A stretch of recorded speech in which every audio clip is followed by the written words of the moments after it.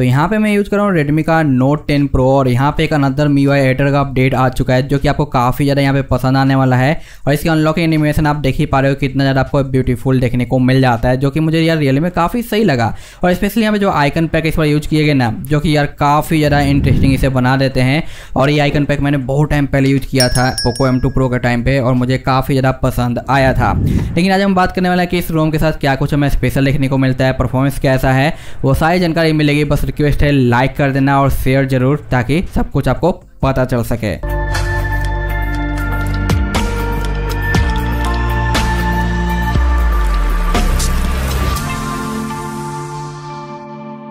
यहाँ पे आप देख पाओगे कि अनलॉकिंग एनिमेशन काफ़ी सही है और काफ़ी स्मूथ यहाँ पे आपको देखने को मिलता है। फेस अनलॉक भी काम कर रहा है। यहाँ पे चाइना वाले विजेट्स आपको अनलॉक मिलते हैं तो जो भी चाहिए वो आप यहाँ पे यूज़ कर सकते हो बट नेट कनेक्ट नहीं है इसलिए आपको दूसरा दिखाई दे रहा होगा।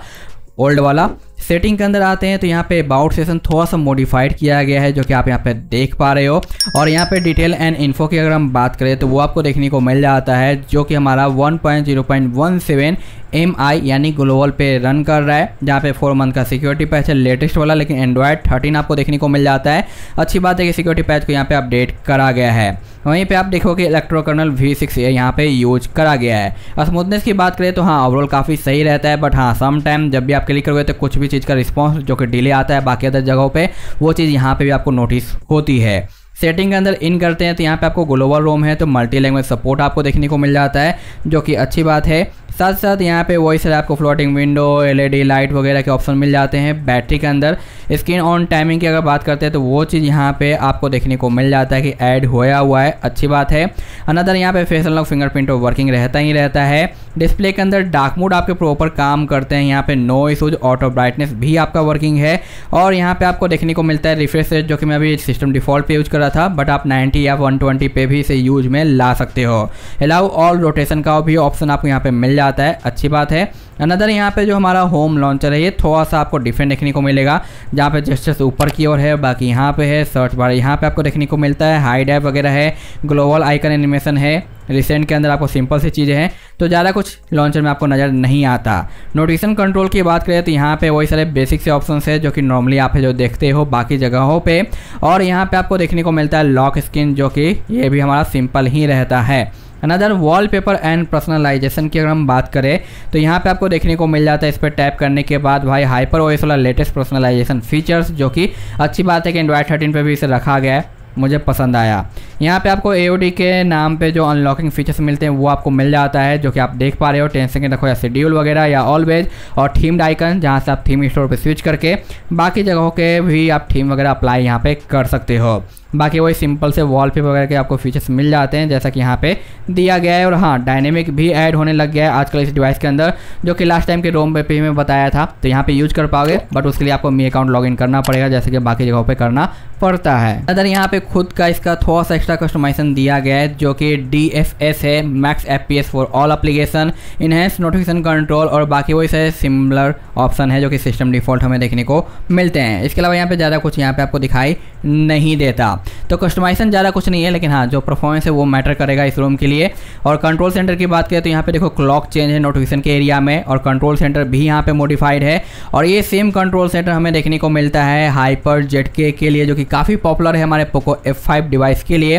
तो उसी का कंट्रोल सेंटर और मोडिफिकेशन यहाँ पर ऐड किया गया है, जहाँ पे मोनेट आप चाहो तो ऑन कर सकते हो। यहाँ पर कितने टाइल्स वगैरह चाहिए, वो चीज़ आपको देखने को मिलेगी, लेकिन हाँ उसके लिए एक बार रिबूट करना पड़ेगा, जो कि आप देखो, या फिर अप्लाई बटन यहाँ पर कलर चेंज हो चुका है इसका इसका भी जबकि यहाँ पे कलर डिफरेंट है। तो यहाँ पे जो भी चाहिए, वो आप यहाँ पे बदल सकते हो। इस तरीके से आपको एक्स्ट्रा टाइल्स चाहिए, वो कर लो। टाइल्स के ऊपर क्या क्या शॉर्टकट होने चाहिए, इतने सारे शॉर्टकट आपको देखने को मिलते हैं। जो कि यहाँ पे अभी देख रहे हो कि बार बार क्लोज हो जा रहा है बट हाँ ये काम करेगा, कुछ बार ट्राई कर लोगे तो।